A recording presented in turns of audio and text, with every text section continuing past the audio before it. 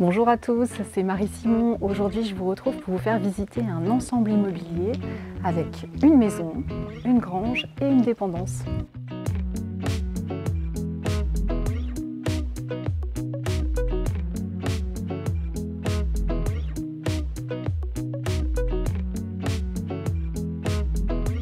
Bienvenue dans la maison.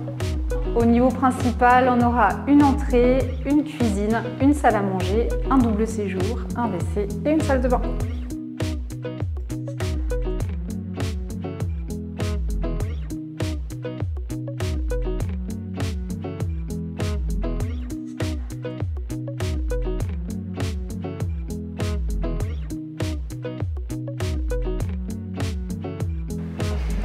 À l'étage de la maison, vous trouverez quatre chambres et une salle de bain.